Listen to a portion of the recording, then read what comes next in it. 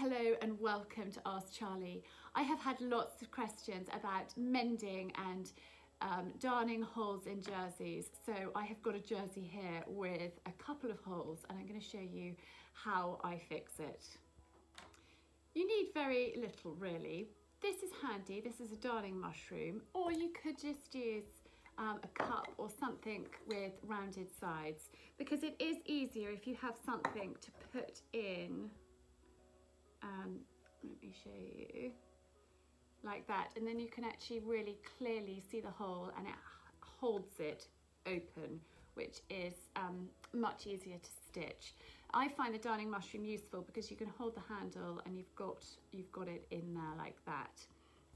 Then you need a needle and some thread which is a similar colour, as close colour match as you can get the better because then it's more of an invisible stitch. So I have got a needle here, but actually that needle is quite short. And so I want to use a slightly longer one. So I'm going for that length needle. Now some jerseys come with a little, little bit of wool. If it does, keep it to one side because it may come in handy. It's better if you can fix your hole with um, wool, but I don't have any navy wool to match and actually it's a tiny hole so a little bit of cotton is going to do the job perfectly well. I use a double thread because I just find it stronger and easier but you can use a single thread as well if you prefer. It's just really personal preference. So I'm just threading my needle and popping a knot in the end. You want with wool a slightly bigger knot than you would use if you were um, sewing with cotton because you want the knot to hold. So that's actually a bit of a messy knot, but it will do the job just fine. I'm going to trim the ends off and then show you, show you how to do it.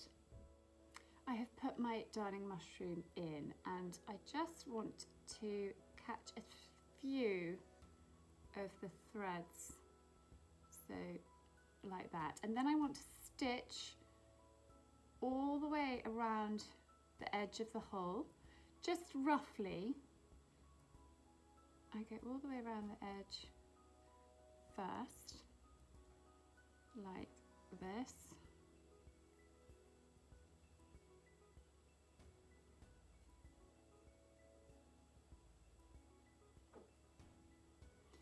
hole is actually in a slightly tricky place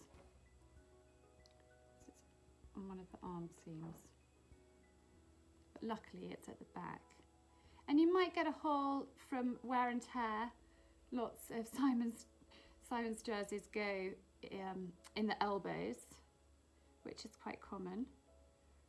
Um, or it could be moths, which are a pain. And it's really important to put, um, I put lavender sachets actually in all the drawers.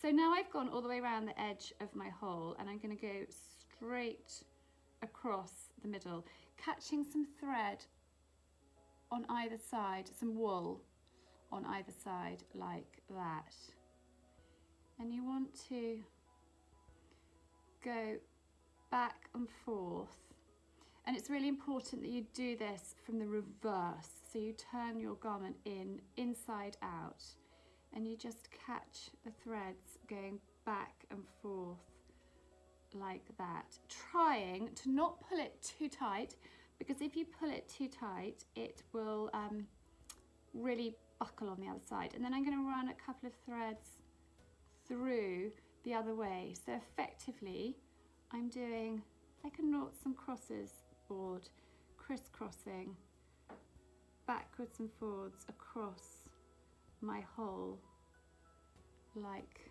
that. Let's pull your threads through. And then I'm going to put one more in. And then I'm going to turn it round and show you what it looks like from the other side. I'm going to leave the needle attached because actually I might need to do a few more uh, stitches. Hang on. Where is my hole? There's my hole. And I don't know if you can see. it's a little bit of a loose thread there, which is from the hole which actually could be ripped off. So that was a little bit of wool. But I don't know if you can see. But actually that is pretty invisible and I'm pretty pleased with that. It doesn't need any more, that is enough. So I'm gonna go back round to the other side. I don't need to put my mushroom back in, but I'm just going to secure off with a knot. So again, I've just got a little bit of, uh, a little, caught the wool under there. And then I've made a little loop. Can you see that loop?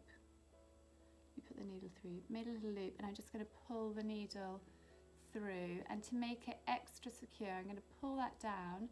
I've got another loop here and I'm just going to go back through the loop so it's like a double a double knot pull that tight pull that end through put my finger on it give it a little bit of a tug and then snip it off and that is your hole mended just like that so it's really really easy and if you catch a hole early before it gets too big it's less likely to grow particularly, you know, with wool, look, I've got another one there under the arm seam. Actually, that one is really easy to do, and I'm going to do that quickly now and show you that one as well.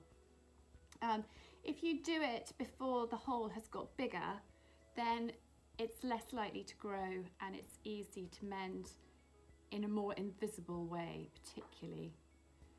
Just make another knot, like so grab my mushroom and just get it all in the right position like that. You see the hole there? And I'm just going to go across.